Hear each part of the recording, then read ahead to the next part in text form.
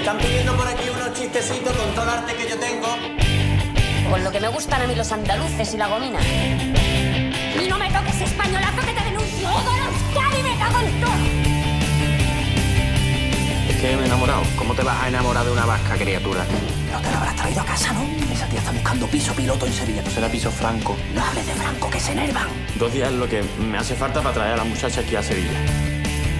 Aparte, la chavala no tiene culpa de ser vasca.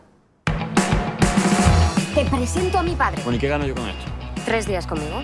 ¿No te sobraba con dos días? ¿Puedes hablar sin acento andaluz? Esto es lo que te hace un atún de 920 kilos cuando te coge con el hilo de nylon al cuello y... ¿Por qué cojones no lo dices en euskera? ¿Eh? ¿Eh? Echa ahí en euskera. ¡Cari tiene un color especial!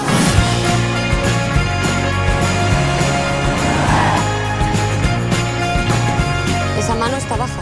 Lo mismo el meñique está un poco al límite, pero todavía no estoy tocando zona blanda. Al chaval aquel con el que saliste, uno que era del sur. ¿Con uno de esos saliste? Sí, de Vitoria. Pero ojo, que tenía sus ocho apellidos vascos. Anchón también tiene muchos. Y muy largos. Gabilondo, Urdangarín, Zubizarreta Arguiñano. Y luego ya por parte de Ama, y Gartiburu... Erenchu.